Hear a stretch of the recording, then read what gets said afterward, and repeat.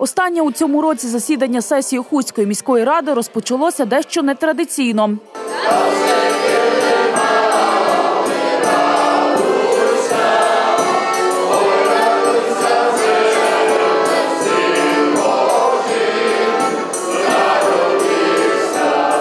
Після чого сесія розпочала свою роботу. Із 34 міських депутатів зареєструвалося 30. Загалом на порядок денний винесли чотири десятки питань. Однак перед голосуванням за нього у цілому обранці винесли на розгляд ще одне питання про оплату праці, і тільки потім затвердили його. Відтак заслухали звіт міського голови про здійснення державної регуляторної політики радою та її виконавчим комітетом у сфері господарської діяльності за 2016 рік. планування діяльності з підготовки проєктів регуляторних актів, створення та ведення реєстру чинних регуляторних актів в місті, оприлюднення документів, підготовлених у процесі здійснення регуляторної політики.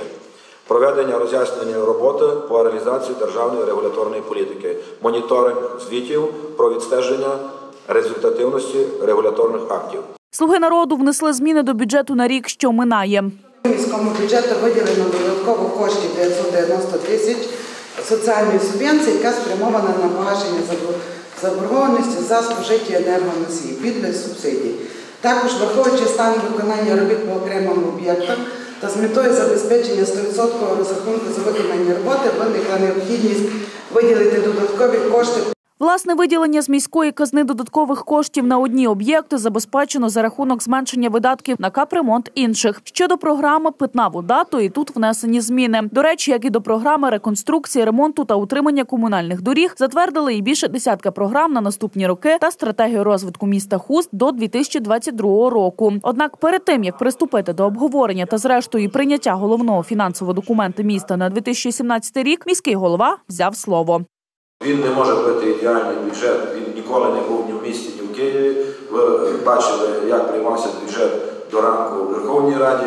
Тисячу поправок носилися, щось приймалося, щось не приймалося, щось відхилялося, але бюджет, так би мовити, прийнятий. Після чого головний фінансист роз'яснила, яким буде бюджет у році наступному. В проєкті на 2017 рік передбачено профіцит по загальному фонду та дефіцит по спеціальному фонду в сумі 21, 21 мільйон 187 тисяч 300.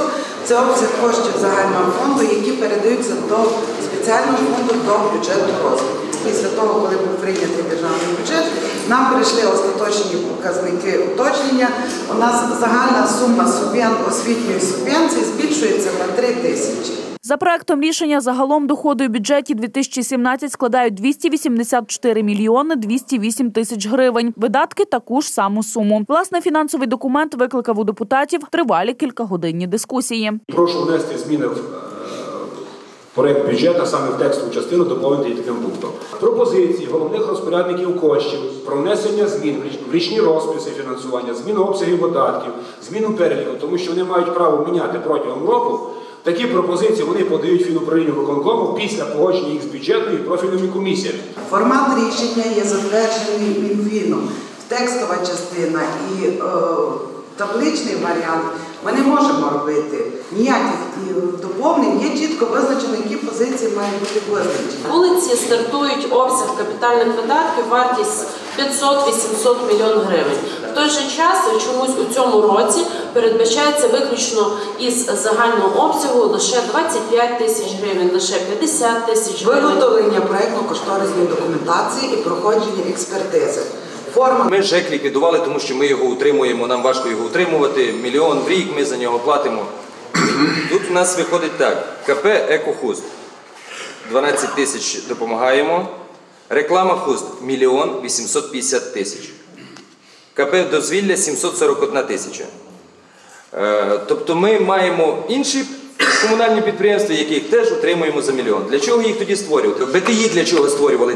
Так, для того, щоб ми потім його утримували так само. Фінансова підтримка окремих об'єктів, організацій та підприємств, в тому числі і комунальних, а також підтримка малого і середнього бізнесів, деяким депутатам здалася недоречною, як і те, що часто виділяються кошти на реалізацію проєктів лише на папері. Зрештою, окремі зауваження обранців взяли до уваги. Однак жодна із пропозицій підтримку у більшості депутатів не знайшла. У результаті 27 депутатів із 30 зареєстрованих проект рішення про міський бюджет Хуста на 2017 рік підтримали. Двоє проголосували проти, один утримався. Під час засідання ухвалили ряд рішень пов'язаних з врегулюванням земельних відносин та майна комунальної власності, а також розглянули питання про оплату праці. Державним бюджетом на 2017 рік встановлено мінімальну заробітну плату на рівні 3200 гривень. На 2017 рік зросте в середньому на 87%.